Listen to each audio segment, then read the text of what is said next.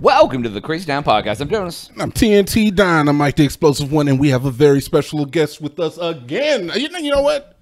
You got your residency. You're, I, you're in. I think I'm there. It's like I, I don't. I don't think I'm a special guest anymore. I'm just kind of a yeah. Okay, Is it a he's here. cameo now? A cameo. It's Mr. X here. Just coming right back at you from the from the Crazy Town couch. Yeah, yeah, his Which is different than the casting couch, Hey. but not much. I'm wondering. Yeah, you're right. I'm wondering. Would you be like uh, what am I thinking of? Uh, Like name name like a group.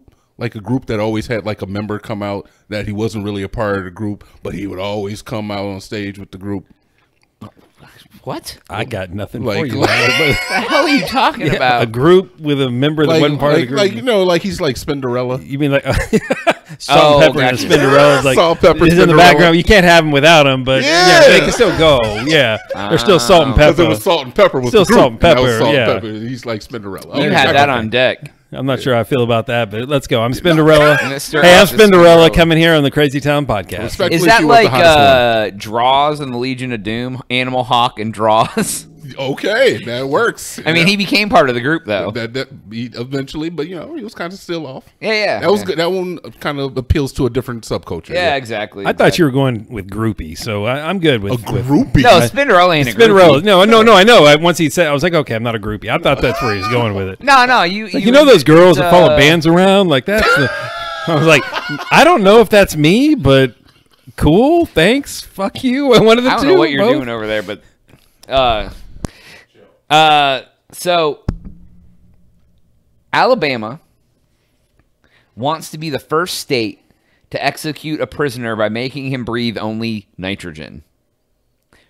Wait, what? Okay. Wait, say that one more time so I can truly understand the words that came out of your mouth.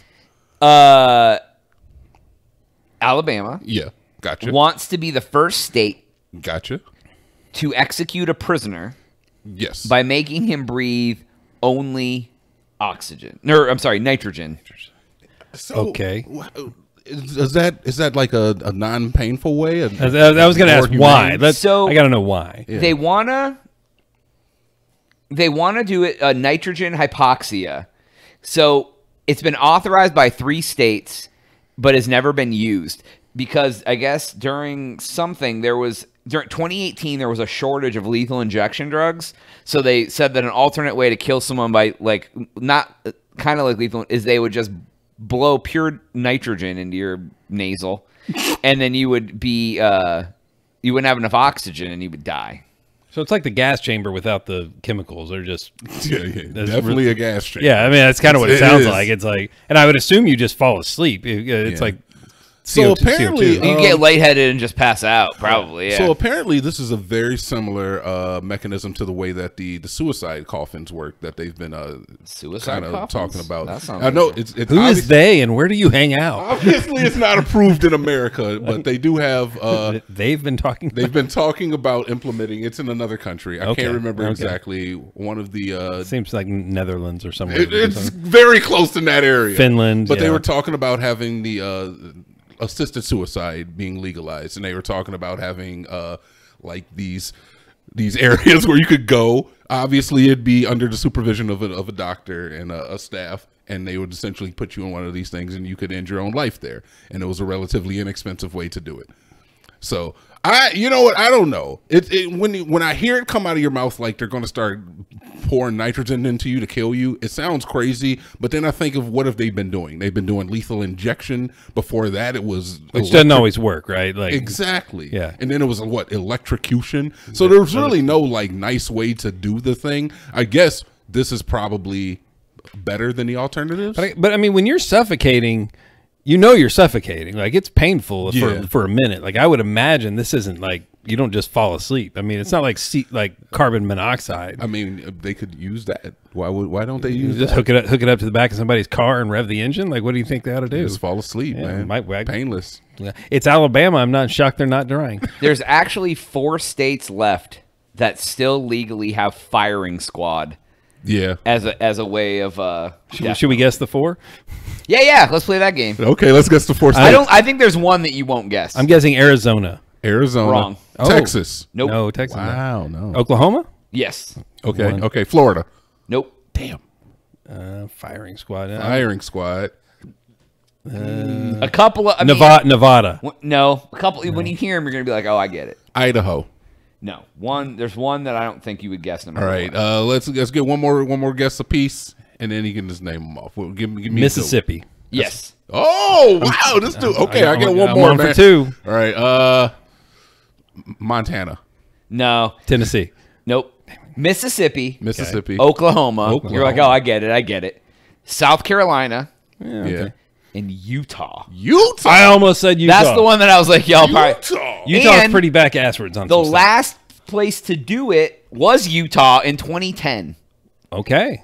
Okay. Wow. Yeah. What was the what was the case in 2010? You just was a, it said it was a murderer. oh, okay. That was it. yeah. Fair enough. Fair enough. Yeah, so it's I like think that I think I remember that, and the guy chose that. Like it was like it was an option. It was a big thing because I think it was a long time before that. Yeah. Because it says, yeah, firing squad is normally composed of several soldiers, all who are usually instructed to fire simultaneously, preventing both the disruption of the process by one member and identification of who fired the le- lethal shot. Lethal shot, yeah. Yeah, so they all do multiple shots to the head, and shooters typically aim for the heart, sometimes aided by a paper or cloth target. The prisoner is blindfolded or hooded. And then you know only one of them or something has a real bullet, so you don't know Why, who are, why are they hooding them? I don't understand. Like, so you can't see their face, I Yeah. guess. oh, I imagine that. Look for for one thing, I, I don't know if I want that to be my like my nine to five. Like I'm the No. firing squad guy. No. Like they call me up. Yeah, we need you TNT. We need you to you know do the thing. And Some I just people go and I would- clock in. I break, put my lunch in the refrigerator. And then Hard truth, some people get off would get off on that. yes, that's hundred percent. Yeah, and I think those might be the individuals who they. I mean, if they're like, who's volunteering for firing squad? The guy who wants to kill somebody is the firing squad guy. exactly. They're the guy that never got any action, and they're just like, you know what? This is my night. I might not. I'll be. I got a ten percent chance that I'm going to be the one who did it. So when we if, when we listen to that and then we revisit, they want to blow nitrogen up your nose. Yo, give me the nitrogen. I think I'd rather get shot in the heart, man. Yeah. Well, the sh- I mean, that's not instantaneous, right? I mean, you're not going to die in instantaneously. I from that. imagine that it has to be um, less. if they hit you perfect, See, they should aim for the head. maybe the, I don't know. I guess. I mean, I guess as the dying party, but I, I don't know if I want that. They have ten guys. Only give one of them a fake bullet. I don't know And if then I'm- they all aim for your head. Yeah, You'll die. I don't know if I want that. I don't know if I want eh, that. I think that's the quickest way to go. the anticipation before that, standing in front of a line of guy out with guns just drawn, I'm good. I don't know if I want that. I, that's like nightmare fuel for me. yeah, me. if I have a choice, I'm, that's not going to be the choice. I Where if How could would just- you guys choose to go? Or if I could just be in a hospital bed and I just drift off to sleep, essentially, what does this nitrogen pro? See, I don't know if it's going to be the pain is a, is a is a factor with it. Right. I don't know if I that's a thought that's what lethal injection was. I thought they put you to sleep and then gave you the lethal whatever. and Because it's didn't yeah, like one of them is like a I think one's like a anesthesia, which like Yeah. you you get really like numb, then you fall to sleep, Yeah. and then they push whatever the poison because is that kills it's you. not necessary. You've been you've been sentenced to death. You're already pay, paying the ultimate price. I don't really feel like it's necessary to make it a painful process. You're already gone. You're gone. Electrocution sounds fuck awful. You're, you're that done. sounds awful. Yeah, Yeah, that They'd be sounds like they might as well be like we'll drown you. Like I mean like bro like that's like it's wild. Yeah, the amount of pain that you go through before an electrocution. Now, see, now that's hundred percent hum- inhumane. I, I honestly feel like the firing squad is too, because it's like, okay, fine, you shot me in the head. What if I live? Through the Shoot him first shot? again. Bruh, just put, put me to sleep, man. Just put me, just, just put me to sleep. Yeah, 'cause I put think- some air in my nose, put something in the line. Goodbye. yeah. I'm out. I'm out on the firing squad. Yeah, Yeah. but, but yeah. right. So Give me a lobster and put me in a hospital. Give me a lobster, put me in the hospital.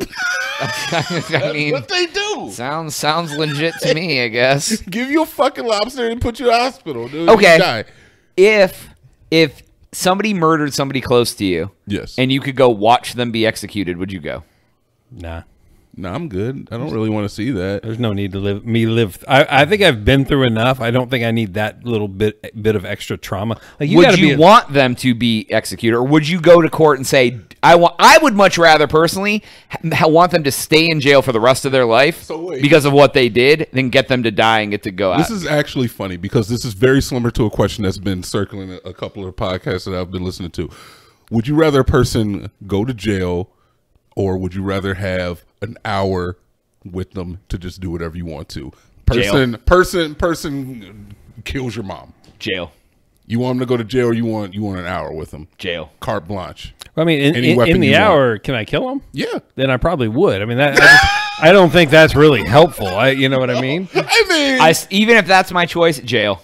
I it's I guess it's kind of like the idea of like, would you rather have the retribution yourself? Because if somebody were to hurt like somebody close to your mom, or child, or sister, or brother, like sure the process is going to go through, but the whole legal system. if it, if it, was my forever. child, I'd skip right past the legal system and go go get my hour before it ever Yeah. got to court. fair enough. Yeah, Fair let's enough. put it that I'm not way. a big vengeance person. I think like if I could be guaranteed that they would spend life in prison, no chance of parole, or I get an hour with them to do whatever I want, Hmm. I'm like rot, rot your ass in jail and think about how you did that for the rest of your life. So here's the question on that I, that I've I've always pondered, which is Mm-hmm. it is very expensive to keep someone in jail. It is. Oh, it costs me money. It's costing uh, it's costing society a lot of money to put somebody there for life. So really, you're helping. and then by- they're getting free health care because they can't i'm like i'm like you're there for life why are we keeping you alive like, like you oh you got cancer sorry Okay, sucks Can we tattoo a racial slur on their forehead and put them in Just turn 'em prison? loose? That would- and then and then Nah, the I- gangs have to get them. i might watch that I, I might want to watch that then the gangs will get them because they walk in and it just has a slur. well hey let's just forehead. build let's just build a big round stadium and let them fight lions i heard, I they, mean, heard that was a thing you I have do. already said that they should bring back the gladiator battles and let oh. the winner go. just put air in their noses. Fair. That's all the time we have for today's episode. Please go to crazytown.com for Jonas. air TNT and. mr x We out.